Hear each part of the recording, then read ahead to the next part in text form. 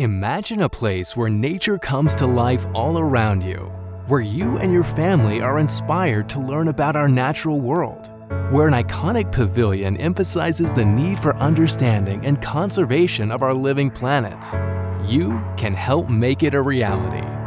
Loveland Living Planet Aquarium in Draper, Utah is at capacity and expanding to provide more educational experiences and create new animal habitats and needs your help.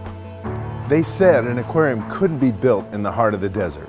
We not only did it, we created a world-class nonprofit organization that is a destination for guests from every state in the country. Now, we're using our proven model of success to create a new kind of community gathering space. This gathering space will be crowned by an iconic structure, the Claw. The Claw served as U2's stage for the renowned 360 Tour, traveling to more than 30 countries and seen by more than 7 million people.